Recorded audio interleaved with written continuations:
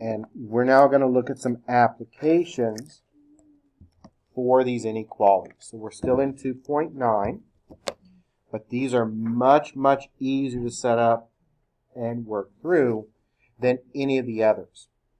I'm going to work through about three of these from our textbook here, maybe four if we need to. We're work on our practice exam. Our exam is going to be next week. So I'm going to be on page 194. And we're going to look at question 72. So 194, we're going to look at question 72. And there's a couple of these in your homework as well. We need to write these as an inequality. So it says less than one inch of rain fell. So less than one inch of rain. We want to use X to represent the amount of rain that, we, that fell. We want it to be less than one. So we've got our X. Now we want it to be less than one. So it's going to point towards the X or open towards the one. Okay? We want to make sure that it, it looks like that X is less than one. Inequality is always open towards the bigger number. So when, it, when you write it like this, this says x is less than 1. And that's what we want because it says less than 1 inch of rain fell. So that was question 72. Uh, let's look at one more of these just to make sure we can set them up correctly. 74. A full-time student must take at least 12 hours. Okay, so we want at least 12 hours. That means it could equal 12. So we must take at least 12 hours. So we've got our x. Now, we want at least, so that means 12 hours or more. So we want it to be greater than or equal to 12. It's opening towards the x because the x is the bigger number. We want at least 12, so it can be 12 hours or more. And at least means we have the bar there. So those two are just setting up the inequality. Now let's look at one that has an average. Question 82.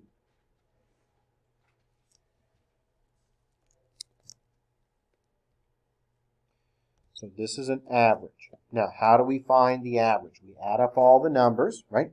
We divide by how many that we have. So the average monthly precipitation in New Orleans, Louisiana for June, July, and August is 6.7 inches. If 8.1 inches fall in June, 5.7 falls in July, how many are going to have to fall in August so that the average monthly precip precipitation for these months exceeds 6.7. So we need to figure out what we've got here. Now we've got an average. And our average is going to be that 6.7. Okay, so the average is going to be that 6.7. And we want this average, if you read that last line, it says we want the average monthly precipitation for those months to exceed 6.7. So that means we want our average to be greater than the 6.7. 6.7 is our average. When we work it out, we want our average to be greater. Now, what months are we looking at? We are looking at June, July, and August.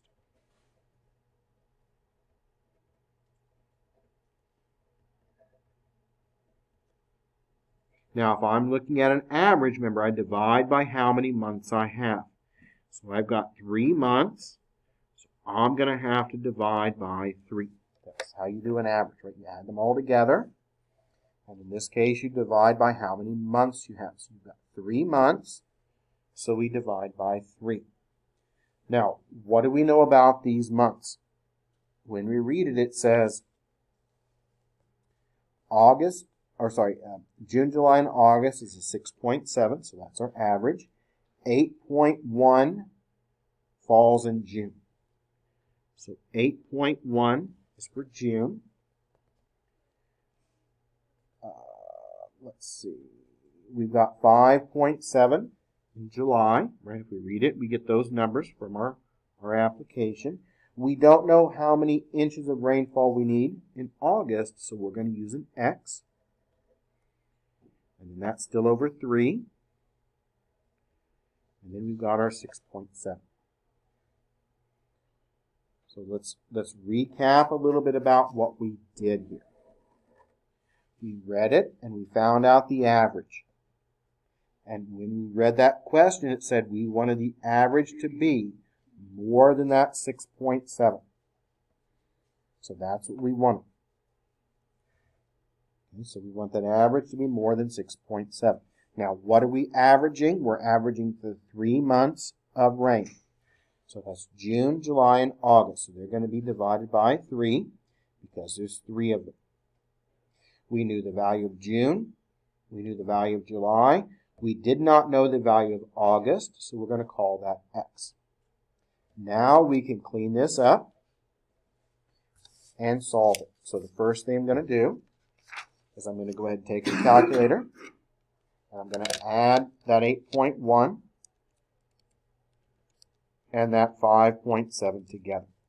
And that's going to give me then the 13.8 plus x over 3 is greater than that 6.7.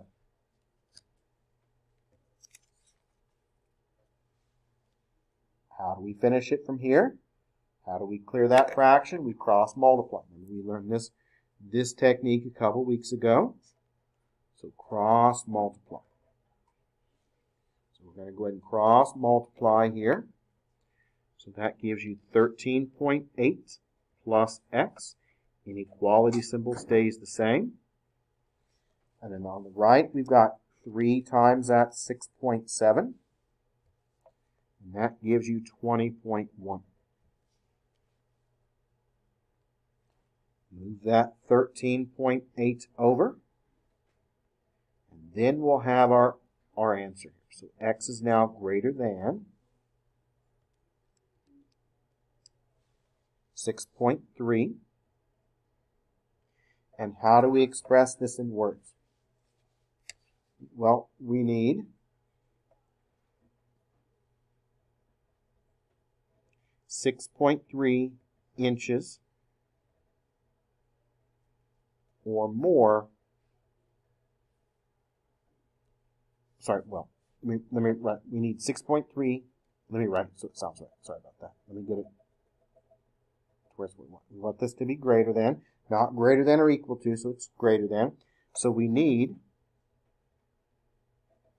more than 6.3 inches of rain in August. So that's going to answer our question. We need more than 6.3 inches of rain in August. And why is it more than? Well, because we want to make sure we have more than that 6.3, uh, sorry, that 6.7 inches average. So that's how we would, we would work that out. there. So set it up, use the average, and solve it. 86 is very, very similar to a question in your homework. It's almost identical. It's just different numbers. So 86.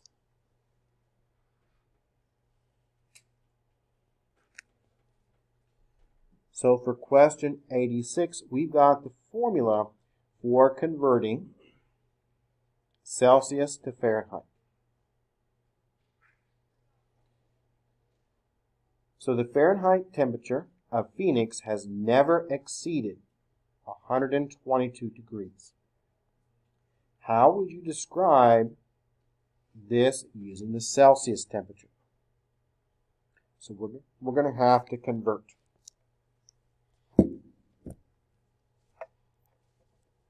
So here's our formula.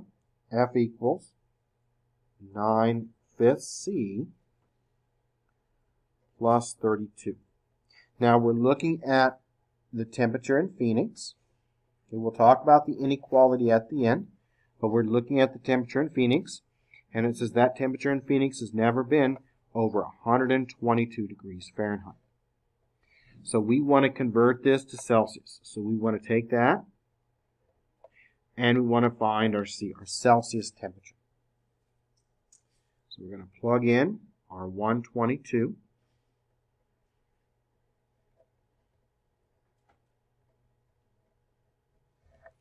And we're going to solve it. Okay, so we plug in our 122 for F, because that's the Fahrenheit temperature of Phoenix. We're going to clear out our fractions by multiplying it by 5. That's going to clear out our fractions here. And we'll probably need a calculator. So let's go ahead and multiply. We've got 122 times 5, that's 610. We've got 9c, and then 32 times 5. That gives you 160. So we cleared out our fractions. Move that 160 over. And that gives you now 610 minus 160. That's 450. Equals that 9c. We'll divide by our 9. And that gives us our c.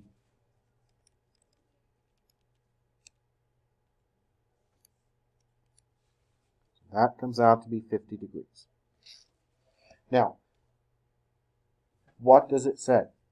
Okay, if we read it, we've got that 50 degrees. Let's, let's read the last line of our problem. And I'll put the work back up here in just a second. So the Fahrenheit temperature of Phoenix has never exceeded 122 degrees. And how would you describe this using the Celsius temperature? Well, what did we define, what did we find the Celsius temperature to be? 50 degrees. So what are we going to say? The Celsius temperature has never exceeded 50 degrees.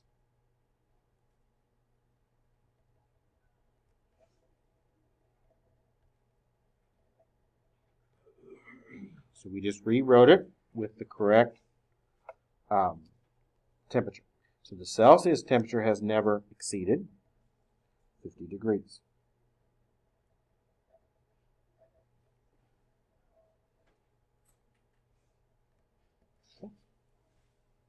That's all you needed to do is to use that formula. Now, that is going to look very, very similar, almost identical to question 10 in your homework. Okay, same formula, same everything, convert it, rewrite it. That's it. You just convert it.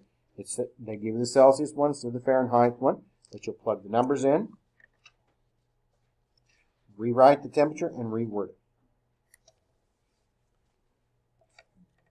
We've done an average. We have done a temperature one. Now let's look at a perimeter problem.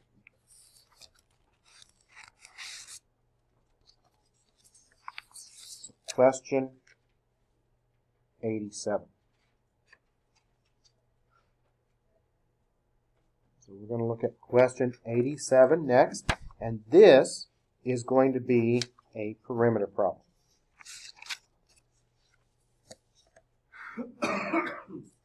And then I'll help you set up question 9 from your homework. So we'll do 87 out of our textbook, and then I'll set up question 9. Now, 87 is going to be very, very similar, almost identical to question 12. Right? Here's question 12. Here's question 87.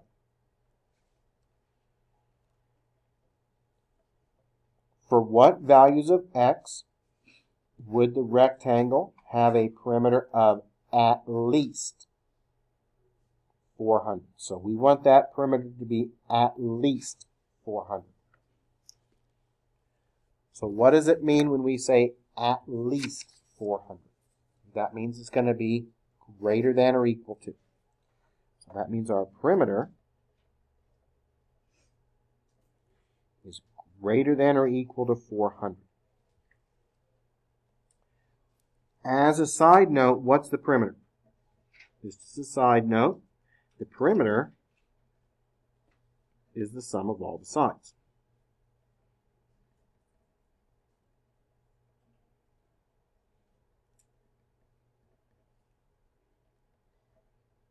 Okay, so the perimeter is going to be the sum of all the sides. So that's just a side note there. Whenever we have a perimeter, for whatever figure, add up all the sides.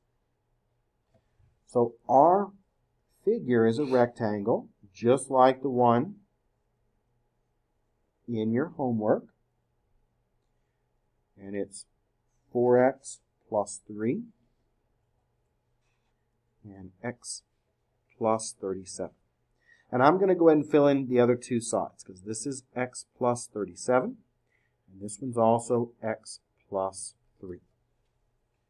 So I went ahead and got our our tri our, sorry our rectangle and I labeled all the sides here. Now the perimeter, we know that's adding up all the sides. So we're going to go ahead and add these all up. So for their perimeter, we have 4x plus 3 plus x plus 37 plus 4x plus 3 plus x plus 37. And that's going to be greater than or equal to 400 because this is your perimeter. Right, that's what we're doing. We're just going to add up all of our sides here. And we're going to make sure that that's going to be greater than or equal to our 400. adding up all of our values here. And when we add them up, let's see how many x's we got. We got 4, 5, 4 more makes 9, another one makes it 10. So we have 10x. And now we'll add up our values here, our numbers. So we've got 3 and 37, that's 40. Another 40 makes it 80. added up our terms together because 3 and 37 makes it 40. Another 40 makes it 80. Now we can finish it. So move that 8 over, sorry, the 80 over. And 10x is now greater than or equal to 320. Divide by our 10. Do we switch our inequality sign? Yes or no? No. Why not?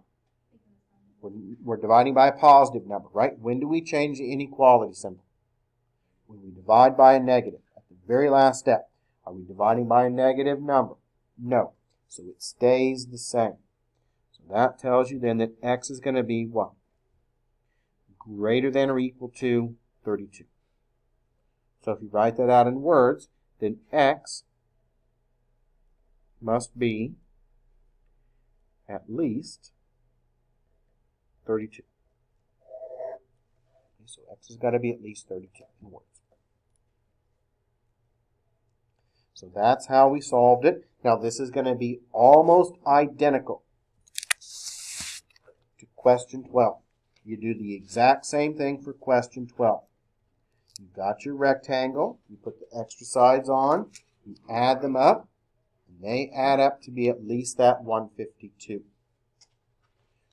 almost identical to the one we just did. I am going to set up question 9 from your homework. Because the others we've done, an example of each one. I'm now going to set up question 9.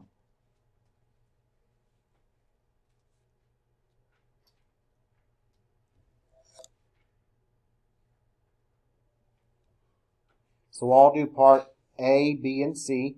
You're going to have to solve it and talk about D. So I'll do parts A, B, and C.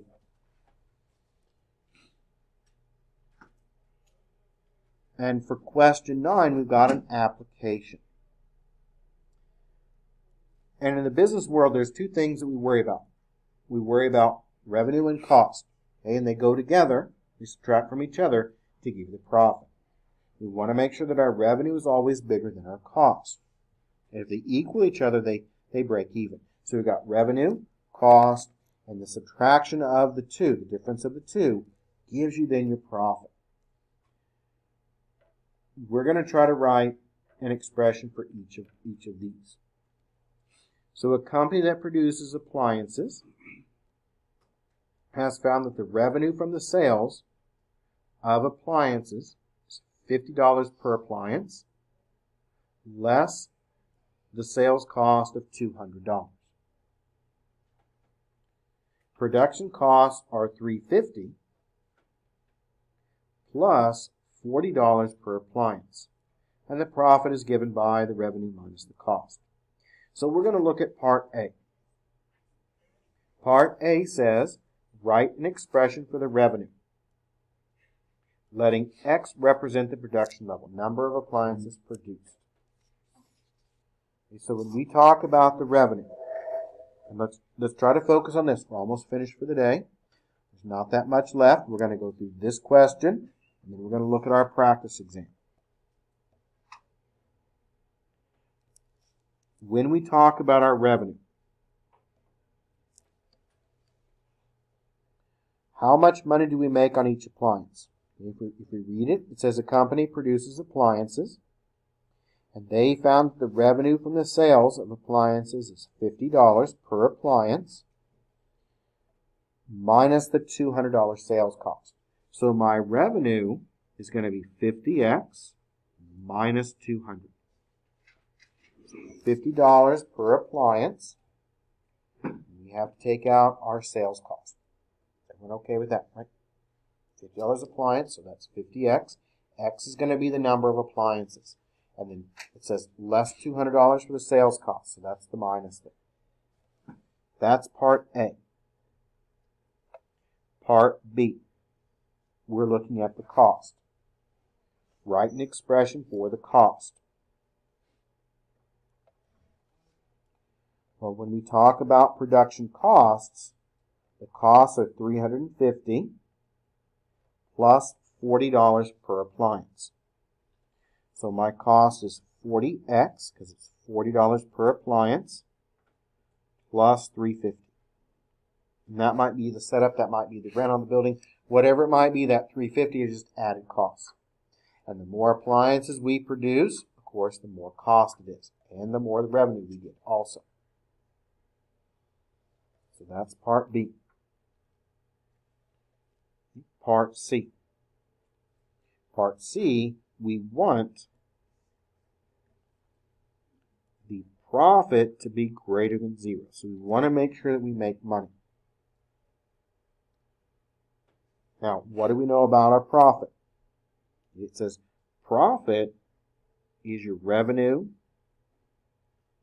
minus your cost. Okay, so that's what your profit is. And so when we, we when we rewrite this, we have our profit to be greater than zero. That's going to be our revenue minus our cost, and let's fill it in. What's our revenue? 50x minus 200 minus our cost, which what's our cost? Use parentheses. Our cost is 40x plus 350. And we want this to be greater than 0. And so you can finish it from here.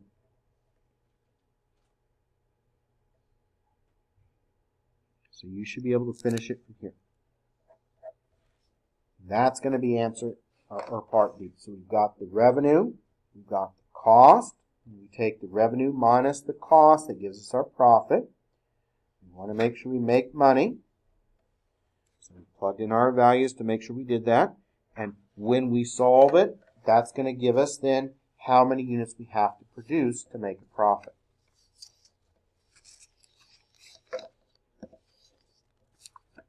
So when we're finished at the end, you get your X, and X is how many we have to produce to make a profit. You always have to add one more because that X is going to be the break even. We want one more after that. Or write it as more. But you can finish that out for, for part D. So that now should answer all uh, examples of all the different types of questions from 2.9. Now we're going to spend the last few minutes going through some questions on our practice exam. And I'm going to post a worked out copy of your practice exam. Um, I'll probably either work it out this afternoon or tomorrow, but you'll you'll see this in your Canvas course, a copy of how I worked it out. But I'm going to focus on the setup of some of these questions. So we're going to try to work out some of these questions, the ones I know we're going to struggle with. So let's look at our practice exam.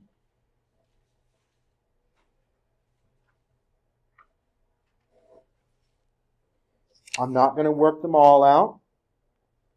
I'm going to focus on the ones that I know we struggle with how to set up. And the first one that I know we struggle with is going to be question 11.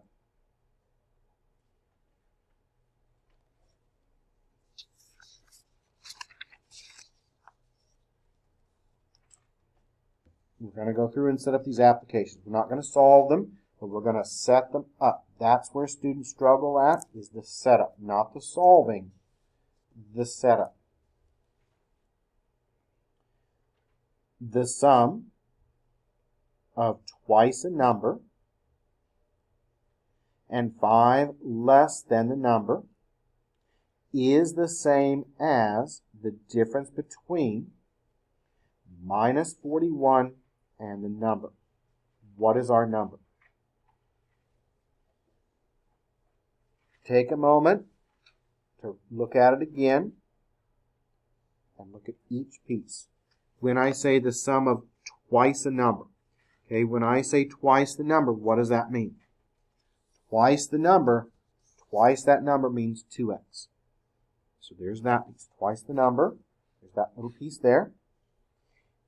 And 5 less than the number. So the sum of twice a number 5 less than the number. So 5 less than the number would be x minus 5, right?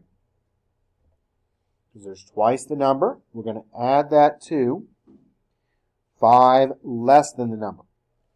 Is the same as, that means equals. And what is it the same as? the difference between minus 41 and the number. So that means we're looking at the difference between minus 41 and the number. So that's going to be minus 41 minus x. You can finish it because all I'm doing is setting these up.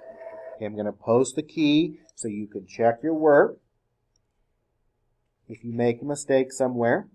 But this is how you set up the equation. That's where students struggle at, is setting it up. Not so much solving. It's more about how do I set this up.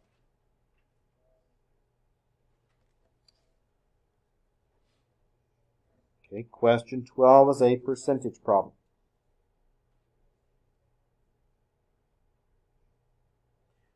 Two hundred and seventy cities is what percent or sites yeah, what else did here? Uh, 270 cities is what percent of 1930 cities? So we're going to look at how these go together. Okay, so 270 versus that 1930. So we want to know what percent that 270 is. So we take our 1930 times x, and that's going to equal then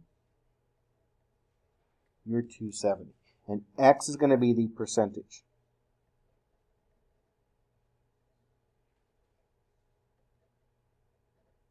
that we want.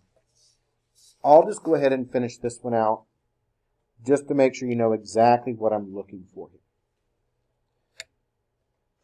So we've got it set up. Okay, 1930 times some percentage gives you that 270. I'm going to go ahead and finish this one out just so you understand how to get the correct answer. We're going to divide both sides by 1930. That leaves you then with x equaling, let's use a calculator here, It's going to come out to be a decimal, and we're going to make that decimal a percentage. So we've got 270. Divide that by 1930. And that comes out to be 0.13989. It goes on forever. Or that's about 14%. Okay, so just round it to the nearest percent. So all you would need to say there is it's about 14%. But we set it up. Now we know it's going to be less than less than 1. It's always going to come out to be a decimal. So we said 1930 times some percentage gives you 270. We divide it and we've got our 14. Pretty easy to do. It's just a matter of setting it up. And again, I'm going to post this online with all the worked out questions either this afternoon or tomorrow, just like I did with the review for the last sec for the last chapter. So let's try question 13. This is one that I know students struggle with. This is one that the students are very likely to miss. 13. This is the most commonly missed question. It's an investment. Paul invested some money at 4% and 10,000 more than that amount at 4.5%. After one year, his total interest was 1895. So $1,895. How much did he invest at each rate? So this is one of the investment problems.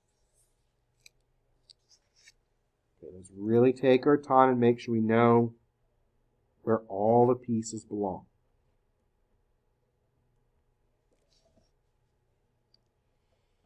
We've done a lot of these. But no matter how many we do, sometimes students get stuck. So we're going to really focus on this one. We're going to take our time and we're going to talk through where each piece goes. Paul invested some money at 4% simple interest. So, first off, we're going to use that 4%. Does it tell me how much money we put in at 4%. No. Okay, so that piece is going to be our first one, and that's X. Is everyone okay where that came from? Does everyone see how it all goes together? Break it up into small pieces. And 10,000 more than that amount. So 10,000 more than that amount would be X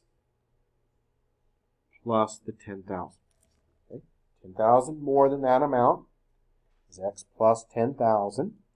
And that's going at 4.5%. I always like to add these up to get our total amount. And then we add across, that's 2x plus the 10,000. So is everyone comfortable with where I got this piece from? And then those two just go together. This is not so important. I just put this here because if I don't, students will put that, that 1895 here, try to solve it, and they'll get the wrong answer. So I just put this here so we don't make a mistake and, and put the number in the wrong place and solve the wrong equation. So this is what we've got. we built this. Next, if it's a mixture problem, we have pure. If it's a distance problem. We have the distance we have to find. In this case, it's an interest problem. So we have to find our interest. And what's our interest? Our interest is the amount times the percentage rate.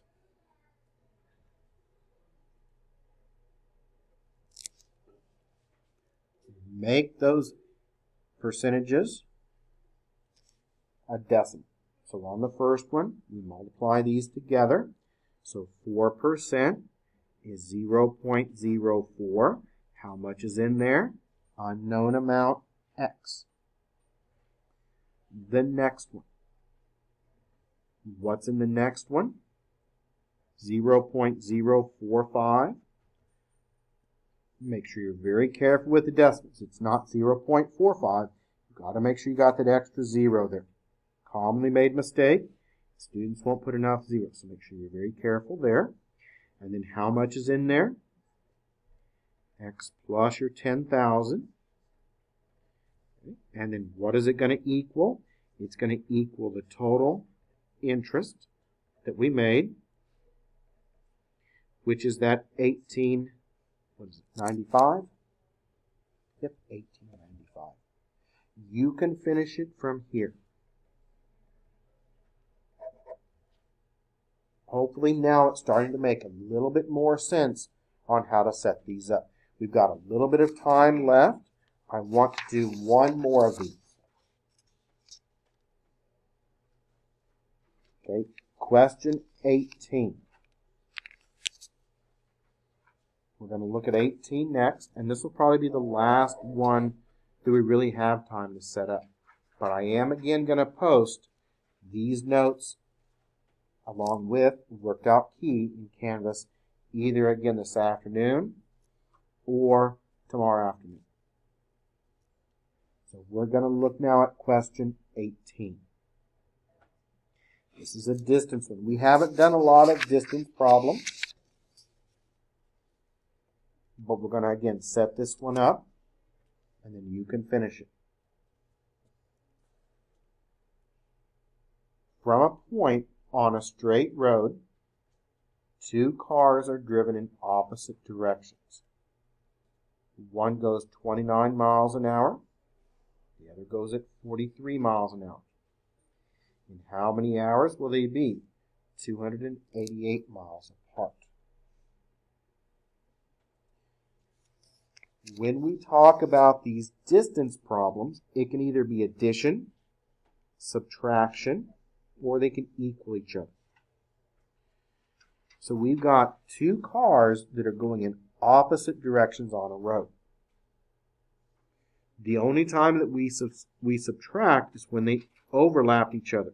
These do not overlap, do they? They go in opposite directions, do not cross each other. So that means this one's going to be addition. Each of these then has a rate and it has a time.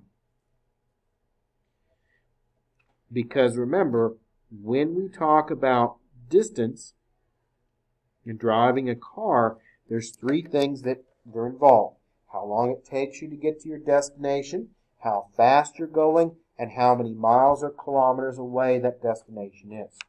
So rate, time, and distance. Rate and time give you then the distance. So the first car is going at 29 miles an hour. The second car is going at 43 miles an hour. This question, do we know anything at all about the times? Does it tell us the times at all? No, because the time is the missing component, right? We start at the same time, though, so that means both these times are going to be x rate and time. And then we need to find our distance. And distance, just like the interest and the pure and the value, is going to be two things multiplied together. So in this case, your distance is your rate times your time.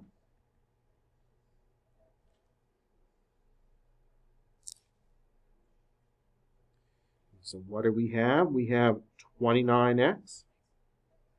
We have 43x. And that gives you a total distance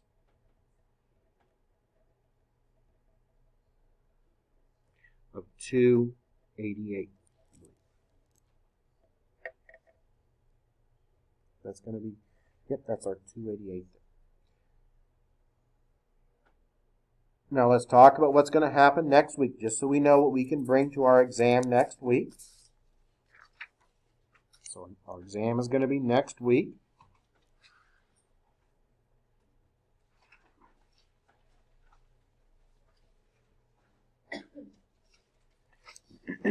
now, what can you bring for that exam? Before the exam, you'll need to bring a calculator.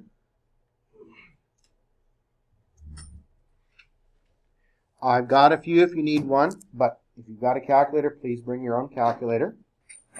In case you forget some, I do have some extras, but try to bring your own calculator. You'll need to bring some scratch paper.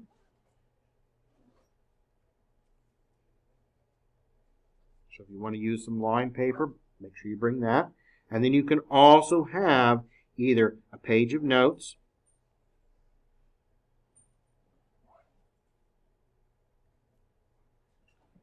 or a stack of note cards.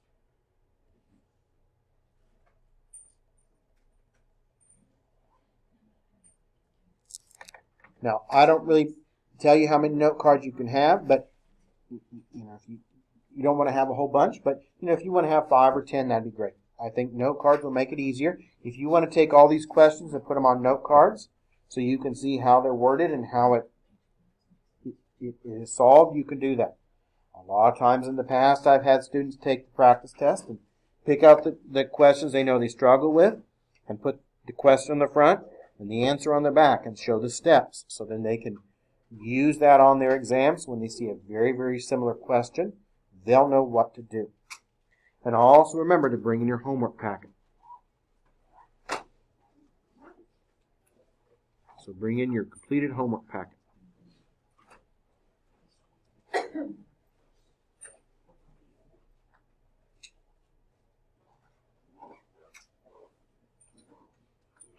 Okay, now we'll see everyone next week. And next week we'll have our exam. Now remember, you can go into Canvas I'll send it out as an announcement as well, and you can view how I work out this this homework along with all the notes and the video lectures. So they'll all be in Canvas for you.